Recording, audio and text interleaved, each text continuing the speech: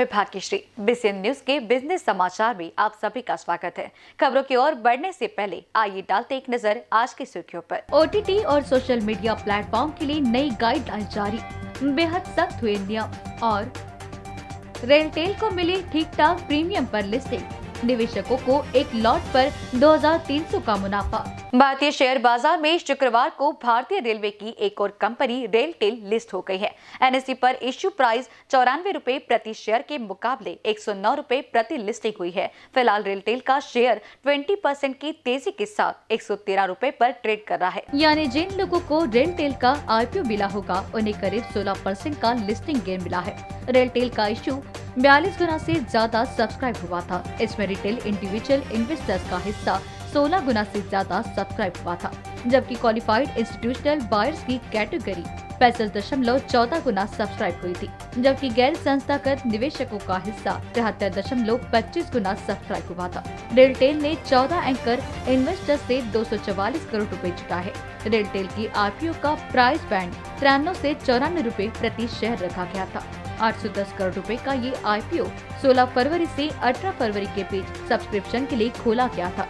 इस इशू के ज़रिए सरकार ने अपनी सत्ताईस दशमलव सोलह परसेंट हिस्सेदारी बेची है। केंद्र सरकार ने ओटीटी न्यूज़ पोर्टल और सोशल मीडिया के लिए गाइडलाइंस का ऐलान कर दिया है। केंद्रीय मंत्री रविशंकर प्रसाद और प्रकाश जावड़ेकर ने इन गाइडलाइंस के बारे में जानकारी दी। रविशंकर प्रसाद ने कहा कि भारत में व्यापार करने के लिए सोशल मीडिया का स्वागत है लेकिन सोशल मीडिया में ऐसे से प्रेजेंटेशन आ रही है जो किसी भी तरह से सभ्य नहीं कहे जा सकते हैं। ऐसी शिकायतें हमारे पास बहुत आई थी। रविशंकर ने कहा कि सोशल मीडिया यूज़र्स की समस्या के लिए फोरम होना चाहिए। सोशल मीडिया का इस्तेमाल नफरत फैलाने के लिए किया जा रहा है। सोशल मीडिया का इस्तेमाल आतंकी भी कर रहे हैं। सोशल मीडिया के गलत इस्तेमाल की कई सालों से शिकायतें आ रही है। फेक न्यूज़ की ये हालत है कि कई न्यूज़ चैनल को फैक्ट चेक सेल बनाना होगा। सोशल मीडिया के लिए नए नियम इस प्रकार है। नई गाइडलाइंस के मुताबिक सोशल मीडिया को एक शिकायत सेल बनाना होगा। कोई कंटेंट हटाने से पहले उसका कारण बताना ज़रूरी होगा। शिकायत करने पर आपत्तिजनक पोस्ट को 24 घंटे में हटाना होगा। हर महीने शिकायत पर कार्रवाई की जानकारी देनी होगी। सोशल मीडिया के ये नियम तीन महीने के अंदर लागू होंगे। चीफ कम्प्लायंस ऑफिसर की नियुक्ति करनी होगी, जो कि नियमों के कम्प्लायंस को लेकर जिम्मेदार होगा। एक नोडल कॉन्ट्रैक्ट पर्सन की भी नियुक्ति करनी होगी, जो 24 फोर बार सेवन लॉ इन्फोर्समेंट एजेंसियों से तालमेल बैठा कर रखेगा। नियुक्त किए गए ये दोनों अधिकारी भारत में रहने वाले होंगे। रेजिडेंट के फ्रांस अधिकारी की भी नियुक्ति करनी होगी। सबसे पहले पोस्ट डालने वाले की जानकारी देनी होगी। रविशंकर प्रसाद ने कहा कि कैपिटल हिल हिंसा का विरोध हुआ तो लाल किले की हिंसा का भी विरोध होना चाहिए। सोशल मीडिया इसमें डबल स्टैंडर्ड नहीं अपना सकती। सोशल मीडिया के साथ साथ ओटीटी प्लेटफॉर्म के लिए भी गाइडलाइंस केंद्रीय मंत्री प्रकाश जावड़ेकर ने जारी की। उन्होंने कहा कि मीडिया के हर प्लेटफॉर्म के लिए नियम ज़रूरी है। उन्होंने बताया कि ओटीटी कंपनियों से कहा गया था कि वो न्यूज़ मीडिया की तरह एक सेल्फ रेगुलेशन बनाए, लेकिन वो ऐसा नहीं कर सकी। जावड़ेकर ने कहा कि मीडिया की आज़ादी लोकतंत्र की आत्मा है।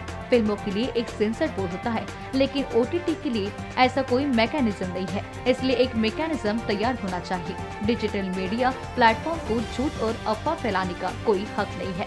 दर्शकों की उम्र के हिसाब से कंटेंट के वर्ग बनाए जाएँगे। ओटीटी कंटेंट की पाँच कैटेगरी बनाई जाएगी। U U S seven plus U A thirteen plus U S sixteen plus और एक कैटेगरी होगी। डिजिटल प्लेटफॉर्म पर पेरेंटल लॉक की सुविधा देनी होगी। एथिक्स कोड टीवी सिनेमा जैसा ही होगा। ओटीटी प्लेटफॉर्म को सेल्फ रेगुलेशन बॉडी बनानी होगी। फर्जी कंटेंट डालने पर सख्त कार्रवाई की जाएगी। एविएशन सेक्टर धीरे धीरे ट्रैक पर आ रहा है। एयर पैसेंजर की संख्या में लगातार इजाफा हो रहा है। हालाँकि अभी भी फेयर बैंड लागू है। यह इकतीस मार्च तक लागू रहेगा। बहुत जल्द बिना चेक इन बैग की हवाई यात्रा करने पर टिकट के लिए कम कीमत चुकानी होगी। इसे डोमेस्टिक फ़्लाइट के लिए लागू किया जाएगा। एक हवाई यात्री सात किलो तक कैबिन बैग अपने साथ कैरी कर सकता है। कोरोना काल से पहले भी एयरलाइन की तरफ़ से लाइफ फेयर का ऑप्शन दिया जा रहा था, जिसे फिर से लागू करने की तैयारी है। पूर्व में इस सिस्टम के तहत हवाई किराए में अधिकतम दो सौ तक की छूट मिलती थी। अगर कोई यात्री इस विकल्प का चयन कर टिकट लेता था और इन चेकिंग बैग के साथ एयरपोर्ट पहुँचता था तो 15 किलो तक के बैग के लिए उसे दो सौ रूपए अलग से चुकाने होते थे। साधारण परिस्थिति में डोमेस्टिक फ़्लाइट के यात्री को सात किलो का कैबिन बैग और इक्कीस किलो के लगेज बैग की अनुमति होती है। इसके लिए उसे सामान्य किराया चुकाना होता है। कोरोना के बाद जब डोमेस्टिक एयर सर्विस की शुरुआत हुई थी, तब यात्रा में लगने वाले समय के आधार पर पूरे देश के रूट को सात कैटेगरीज में बांटा गया था। हर कैटेगरीज के लिए मिनिमम और मैक्सिमम किराया फिक्स किया गया था। एविएशन के मिनिस्ट्री ने इसी के मिनिमम किराए को 10 फ़ीसदी और मैक्सिमम किराए को 30 फ़ीसदी बढ़ाने का फैसला किया है। पुराने नियम के मुताबिक दिल्ली मुंबई रूट पर मिनिमम किराया तीन हज़ार पाँच सौ रूपए और मैक्सिमम किराया दस हज़ार रूपए था। अब यह तीन हज़ार नौ सौ रूपए और तेरह हज़ार रूपए हो गया है। पहली कैटेगरी 40 मिनट तक की हवाई यात्रा का है। अब इसका प्राइस बैंड 2200 से सात हज़ार आठ सौ रूपए हो गया है। दूसरी कैटेगरी 40 से 60 मिनट की है। इसके लिए प्राइस ब्रांड अब 2800 से 9800 रूपए हो गया है। तीसरी कैटेगरी 60 से 90 मिनट की है। इसके लिए प्राइस बैंड अब 3,300 से 11,700 रुपए हो गया है। चौथी कैटेगरी 90 से 120 मिनट की है। इसके लिए प्राइस बैंड 3,900 से 13,000 रुपए का है। पांचवी कैटेगरी 120 से 150 मिनट की है। इसके लिए प्राइस बैंड 5,000 से 16,900 रुपए की है। छठी कैटेगरी 150 से 180 मिनट की है। इसके लिए प्राइस बैंड 6100 से बीस हज़ार चार सौ रूपए का हो गया है और आठवीं कैटेगरी 180 से 210 मिनट की है। इसके लिए प्राइस बैंड सात हज़ार दो सौ ऐसी चौबीस हज़ार दो सौ रूपए हो गया है। आम आदमी के लिए एक और बड़ा झटका साबित हो सकता है। दूध की कीमतों में बढ़ोतरी होने की संभावना है। दूध उत्पादकों ने मांग की है कि दूध के दाम पचपन रूपए लीटर तक बढ़ा दिए जाए, क्योंकि महँगे पेट्रोल डीजल की वजह से उनके आर्थिक हालात खराब हो गए हैं। बता दें कि दूध उत्पादकों ने पिछले साल भी दूध के दाम बढ़ाने की मांग की थी, लेकिन कोरोना वायरस की वजह से दूध के दाम नहीं बढ़ाए गए थे। यही वजह है कि दूध उत्पादकों को आज भी उतने रुपए में दूध बेचना पड़ रहा है, जितने में वो दो साल पहले बेचते थे। बता दें कि मध्य प्रदेश के रतलाम ज़िले में दूध तिरालीस रूपए प्रति लीटर मिल रहा है। अब इसकी कीमत बारह रूपए बढ़ाकर पचपन रूपए प्रति लीटर कर दी जाएगी। एक मार्च से यह लागू हो जाएगा। वस्तु व सेवा कर जीएसटी की खामियों को दूर कर सरल बनाने को लेकर 26 फरवरी 2021 यानी आज देश भर के व्यापारी ने भारत बंद का ऐलान किया है। इसमें all India transporter welfare association ने कैट का समर्थन कर आज ही चक्का जाम का ऐलान किया है। लिहाजा आज सभी व्यवसायिक बाज़ार बंद रहेंगे। दावा किया जा रहा है कि इसमें 8 करोड़ छोटे कारोबारी, करीब 1 करोड़ ट्रांसपोर्टर लघु उद्योग और महिला उद्योग भी शामिल होंगी। हालाँकि इस बीच खबर मिल रही है कि भारत बंद शुरू होने से पहले ही व्यापारियों की एकता टूट गई है। फेडरेशन ऑफ़ ऑल इंडिया व्यापार मंडल ने बृहस्पतिवार को कहा कि वह कैट के भारत बंद का समर्थन नहीं कर रहा है। फैम का कहना है कि व्यापार मंडल दुकान बंद या भारत बंद जैसे विचारधारा से दूर रहता है।